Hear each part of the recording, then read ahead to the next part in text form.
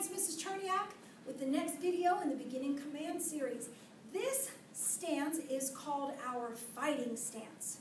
Okay, so first things first, we always have our guard up, right? So when I say fighting stance, go, the difference now is one foot goes in the front and one goes in the back. So it looks like this.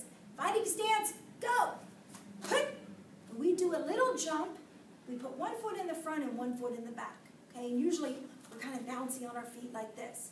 And then I might tell you, switch. So that means we're going to switch feet. So when we switch, it's really, really small movement. Only my feet move, not my whole body. So my feet just switch one from the other like this. That's a little jump. So see how I just switched my feet? I didn't try to turn my whole body around. My, my shoulders didn't move. Only my feet. Ready? Switch. Switch. All right, so let's try it from the beginning. This is my fighting stance. Ready? Fighting stance, go. One foot in the front, guard is up. Ready? We're going to switch feet. Switch feet. Switch. Great job. So practice that at home, and now you're going to be ready for your belt test coming up really soon. I'll see you in class.